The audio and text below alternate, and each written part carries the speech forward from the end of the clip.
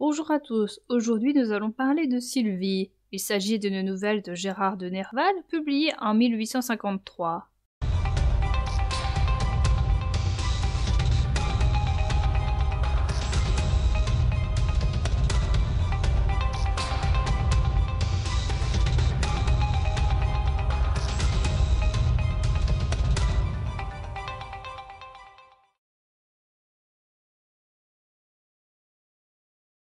Le narrateur passe toutes ses soirées au théâtre. Ce ne sont pas les pièces qu'on y joue qui l'intéressent, mais une actrice. Il ne s'est pas déclaré à elle alors que cela fait un an qu'il l'a remarqué. Quand un homme se rend compte que le narrateur vient tous les soirs, il devine que c'est pour une femme et il lui demande laquelle l'intéresse. Quand le narrateur lui donne le nom, l'homme lui montre l'homme avec qui l'actrice a une liaison. Le narrateur prend un journal. Il dit que les titres étrangers vont être connus, ce qui fera de lui un homme riche. Il pense que cette richesse va faire en sorte que cette actrice se tourne vers lui, puis il change d'avis. Dans le journal, il lit également que le lendemain aura lieu la fête du bouquet provincial. Le narrateur a déjà participé à ce genre de fête et les souvenirs remontent. Dans son lit, il n'arrive pas à dormir car il repense à cette fête. Il se souvient qu'il était dans une ronde avec d'autres jeunes filles, dont cette Sylvie qu'il connaissait déjà. Il a dansé avec une autre fille qui s'appelait Adrienne. Le narrateur a eu un coup de foudre immédiat pour cette fille et il lui a donné une couronne de laurier. Sylvie a été boudeuse suite à cet événement. Le narrateur est ensuite parti pour ses études et il a appris plus tard qu'Adrienne est vouée à une vie religieuse. Il se rend compte que l'amour qu'il a eu pour Adrienne est pareil que celui qu'il a pour cette actrice, c'est-à-dire vague et sans espoir. Il se souvient de cette Sylvie à qui il n'a pas pensé depuis trois ans. Il pense qu'elle l'attend encore. Il décide d'aller la voir à cette fête. Il prend un fiacre à une heure du matin et il va faire quatre heures de route pour se rendre dans ce village à huit lieues de Paris. Sur le chemin, il repense à ses années de jeunesse qu'il a passées en Valois. Dans sa tête, le narrateur se trouve dans un lieu chargé de souvenirs et pittoresque d'un autre temps. Il retrouve Sylvie, qui le bout d'un instant car il l'avait oubliée. Il reçoit un vrai baiser quand le narrateur arrive à lui attraper une couronne dispersée par un cygne sauvage. Il trouve que Sylvie a gagné en beauté au cours de ces dernières années. Le frère de Sylvie va les chercher car il est temps de rentrer chez leurs parents. Le narrateur les raccompagne chez eux puis il part à pied à Montagny. Il traverse une forêt et il se perd la nuit. Le lendemain matin, il se rend compte qu'il est non loin d'un couvent où est peut-être Adrienne. Il retourne à Loisy pour revoir Sylvie.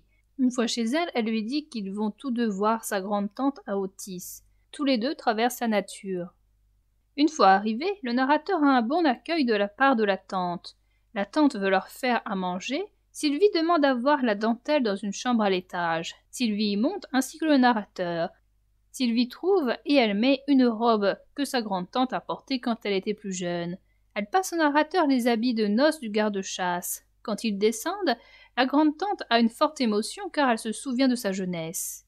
Le narrateur dans une voiture passe près d'un endroit qui lui rappelle un souvenir, et était déjà venu dans ce lieu avec le frère de Sylvie. Il y avait alors une fête où les filles d'un couvent ont joué une pièce. Il lui a semblé alors y voir Adriel. Le narrateur doute de la réalité de ce fait. Le narrateur est arrivé en Valois, et il sort de ses souvenirs. Le narrateur va au bal de Loisy à l'aube, et il y cherche Sylvie. Il la trouve avec un jeune homme, et ils sortent ensemble du bal. Il devine qu'elle ne l'aime plus. Elle a changé, et le narrateur lui aussi a changé puisqu'il a voyagé et a dû voir d'autres jeunes filles plus belles qu'elle. Le narrateur lui dit qu'il est revenu pour de bon pour elle. L'entretien est interrompu par le frère de Sylvie qui est saoul et qui veut qu'ils rentrent tous deux à la maison. Le narrateur se rend à Montagny, voir la maison de son oncle décédé. Il va chez le fermier pour avoir la clé. Le fermier a récupéré le perroquet de l'oncle que le narrateur va revoir. Il en ressent de la tristesse et il a ce besoin de voir Sylvie. En marchant à pied, il repasse dans un lieu chargé de souvenirs. Il passe devant le temple de la philosophie qui n'est maintenant plus qu'une ruine. Il va voir Sylvie qui l'amène dans sa chambre. Il s'aperçoit qu'elle ne fait plus de dentelle mais des gants. Le narrateur veut aller à Otis, mais la grande tante est morte. Ils vont à Chaly où ils se remémorent des instants du passé sur le chemin. Ils reviennent sur des lieux de leur enfance. Le narrateur est exacté, mais ceci n'est pas le cas de Sylvie, qui hélas ou ressent de la tristesse. Quand le narrateur parle de la religieuse, Sylvie le lui reproche, et elle lui dit qu'elle a mal tourné.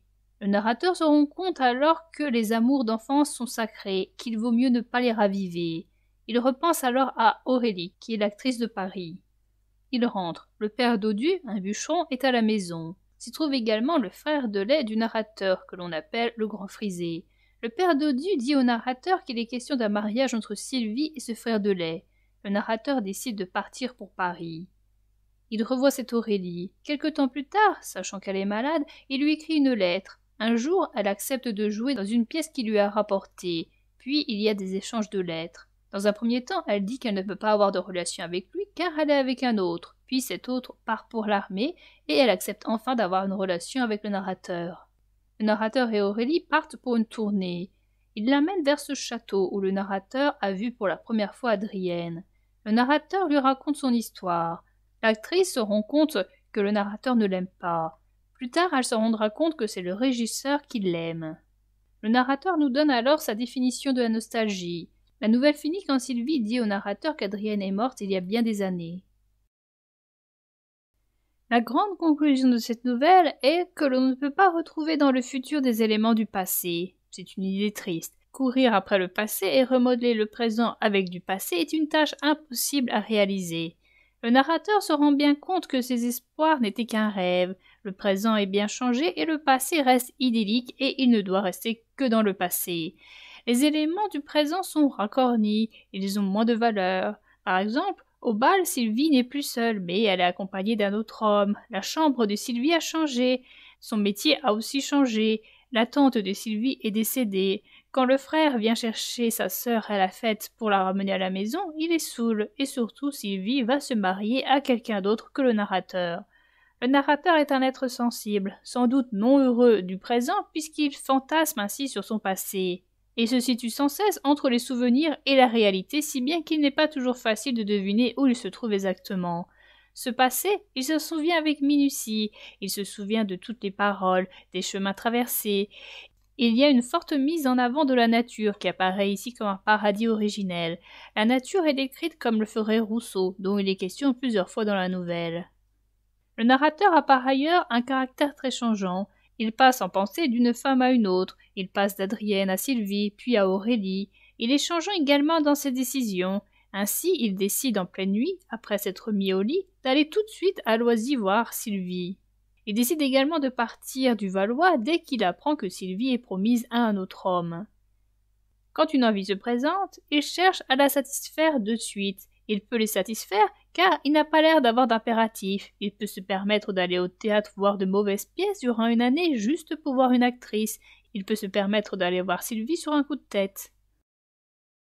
Nous vivions alors dans une époque étrange, comme celle qui d'ordinaire succède aux révolutions, aux abaissements des grands règnes.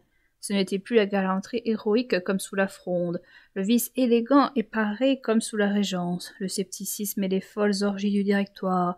C'était un mélange d'activité, d'hésitation et de paresse, d'utopie brillante, d'aspiration philosophique ou religieuse, d'enthousiasme vague, mêlé de certains instincts de renaissance, d'ennui des discordes passées, d'espoir incertain, quelque chose comme l'époque des Pérégrinus et d'Ampulée, L'homme matériel aspirait au bouquet de roses qui devait le régénérer par les mains de la belle Isis. La déesse éternellement jeune et pure nous apparaissait dans des nuits et nous faisait honte de nos heures de jours perdus. L'ambition n'était cependant pas de notre âge, et la vie de curé qui se faisait alors des positions et des honneurs nous éloignait des sphères d'activité possibles.